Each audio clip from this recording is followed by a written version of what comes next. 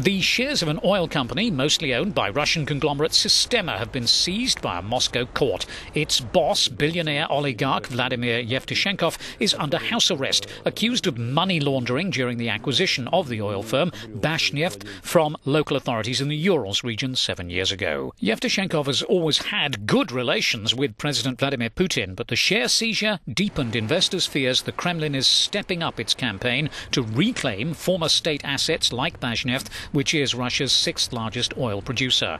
The case has drawn comparisons with Yukos, the energy giant taken over by the state when its chief executive Mikhail Khodorkovsky was jailed for fraud and tax evasion after falling out with Putin. Shares in Moscow fell on the news while the ruble slumped to new lows. Even Russia's economy minister has said Yevtushenkov's arrest is damaging the country's business climate.